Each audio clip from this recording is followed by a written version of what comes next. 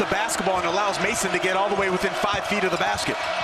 Look at that what a reverse with the left hand off the glass. in Maui against Vanderbilt played all 40 minutes that night. At 25 that night. Oh my oh goodness. my goodness! Gary Payton the second. Sam Singer, who's now guarding GP2. Sam Singer, he saved the chance. Next play by Gary Payton. Singer, he saved the chance. Next play by Gary Payton the second. Going Briscoe played a little bit better. They need Skal Labissiere to really turn up his, his game to another level. Gary Payton, tremendous assist to turnover ratio. But Payton has continued his activity tonight. Yep. Look Gets at that. another rebound. Gets his own. Reid taking Ellis into the paint. Gary Payton the second, second and third effort, and Gary Payton. on the bench for Wayne Tinkle. Uh, well, Schaftenaar tried to go backdoor. Eubanks kept it alive for Payton.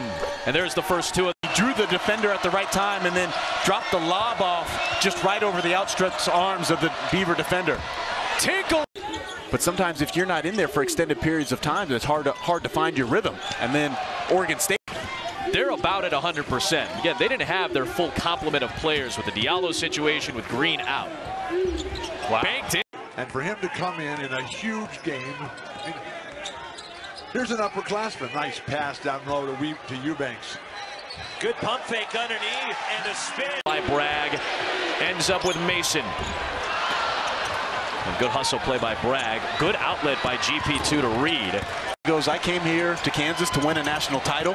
I'm trying to lead this team as best as I can to the Final Four and a national title this year. We have the team to do it. Oh my goodness. Four and a half to play first half. 13 point lead at one portion of this half for Oregon State. It's Tinkle again. Good again. Go. Shot clock down to seven. A deep Selden three. Senegal, two of them. The Netherlands. Schaftenaar. G. I know you're coaching the team, but your son is out there balling against the number two team in the country. That has to be a lot of fun for the Tinkle family. Good read by Gary Payton.